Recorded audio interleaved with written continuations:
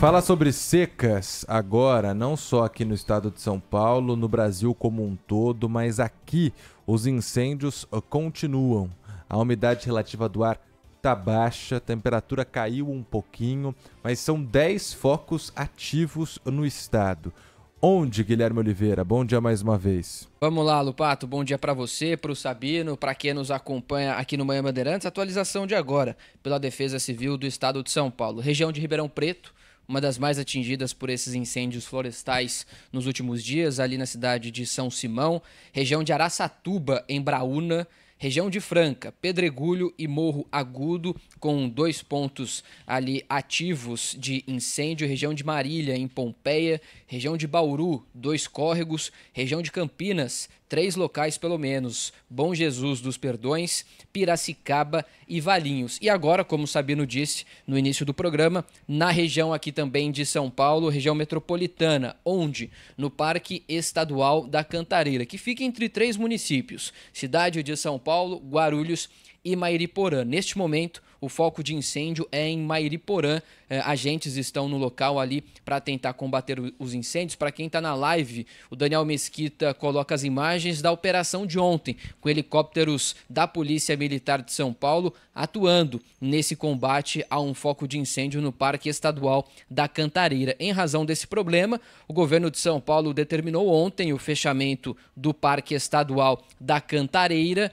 e agora já são 81 áreas de conservação que estão fechadas em todo o estado de São Paulo por causa desse alerta de incêndios florestais. Essas unidades são de responsabilidade da Fundação Florestal, que é um órgão do governo paulista, e a expectativa de momento é de que essas 81 áreas fiquem fechadas até o dia 12 de setembro, portanto, até a quinta-feira da semana que vem. Aqui no Manhã Bandeirantes, a gente já ouviu ah, ao longo dessas semanas o responsável, porta-voz da Fundação Florestal, e ele disse que esse prazo pode ser prorrogado, pode ser estendido, isso se o alerta de incêndios permanecer aqui no estado de São Paulo. Só da Fundação Florestal são 34 equipes que estão atuando nessas áreas de incêndios, de áreas de conservação ambiental aqui no estado de São Paulo, pessoal.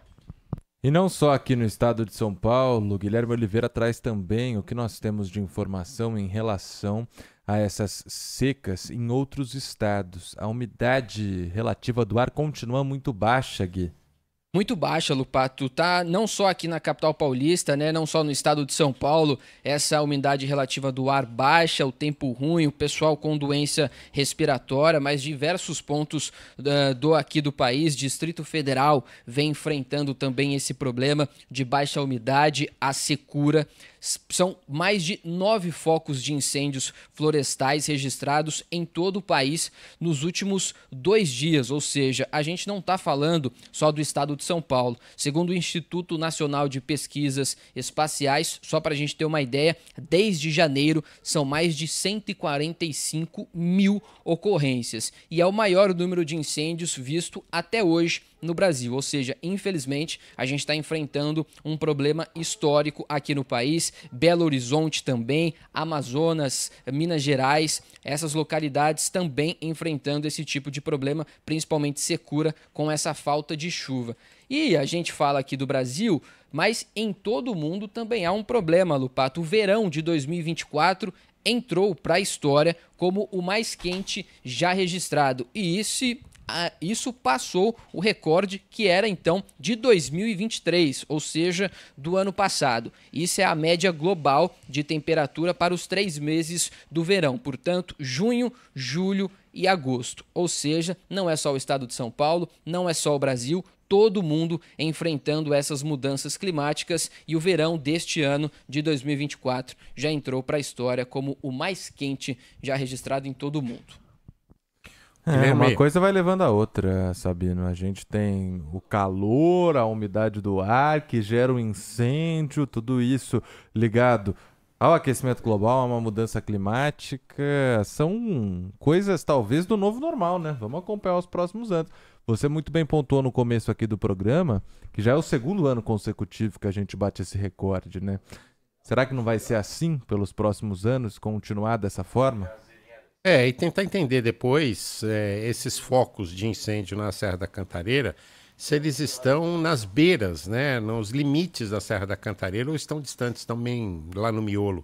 Porque o fato é que a Serra da Cantareira é cercada por habitações em todos os lados, né? desde Mairiporã, lá atrás da serra, até aqui a zona norte de São Paulo. Então, tentar entender quais são os riscos efetivos para a cidade de São Paulo desse incêndio. 11 999 048756